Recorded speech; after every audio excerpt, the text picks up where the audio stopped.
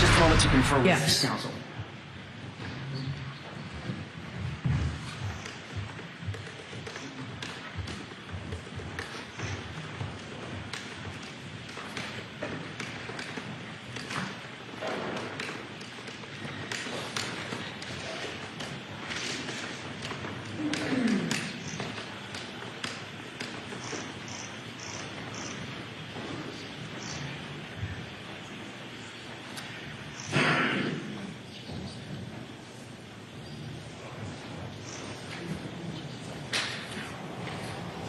It looks like they are taking a bit of a sidebar type break. Matt, um, she looked pretty animated today talking with her attorney. She was smiling.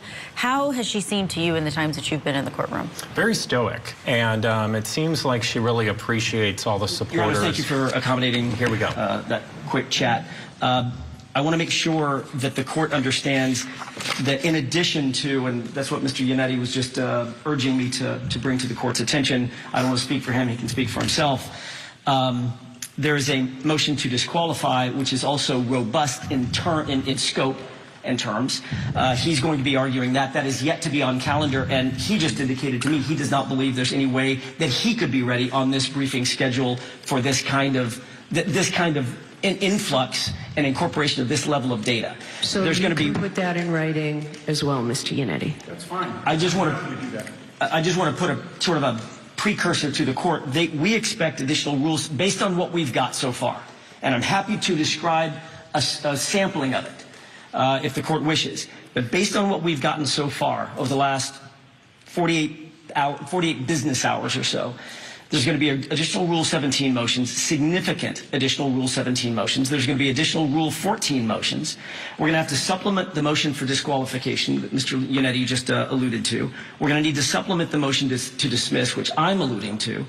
Uh, we will be filing a motion for extraordinary governmental misconduct based on certain evidence that we've just received.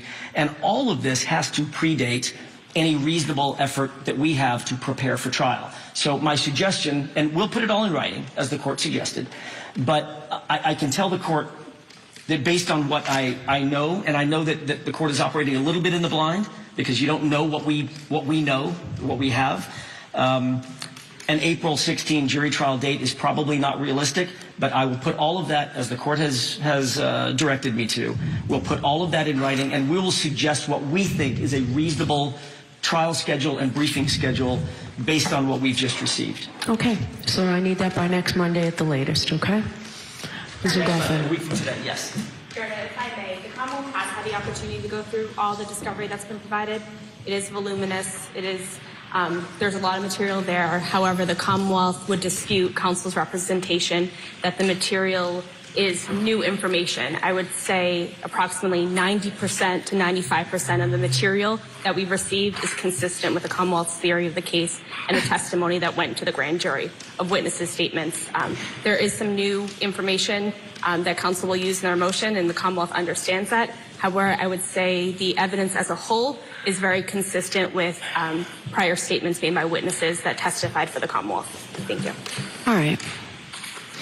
All right, so put it in an affidavit by next Monday, but these days, as of now, these are our dates. Okay? I want to make sure I got the dates, the, all the dates that the court indicated. March 6th for the motion to dismiss. To file any supplemental memos on the motion to dismiss and the motion for sanctions disqualification of the district attorney's office. The next date, March 22, for motions, all motions in limine. Yes, for March- filing, for filing all motions. March 28 for hearing on all motions in limine. April 12, last uh, readiness conference at Yeah. 9 a.m. Yes, And April 16 for jury trial. yes. Okay, Your Honor, if I may, I just, I may not have heard. The March 12th date, uh, was that 9 a.m. or 2 p.m.? Oh, March 12th, March 12th, we can go at 9 o'clock and we can take all day. So, all right? Your Honor, what are the dates for the Rule 17s that we anticipate filing, which are uh, we expect are going to be voluminous? Why don't we do those on March 12th as well?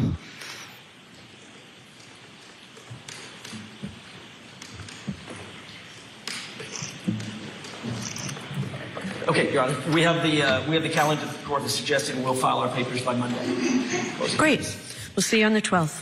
Thank you.